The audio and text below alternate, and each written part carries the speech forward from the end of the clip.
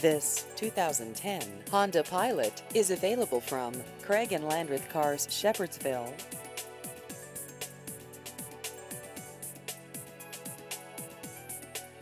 This vehicle has just over 49,000 miles.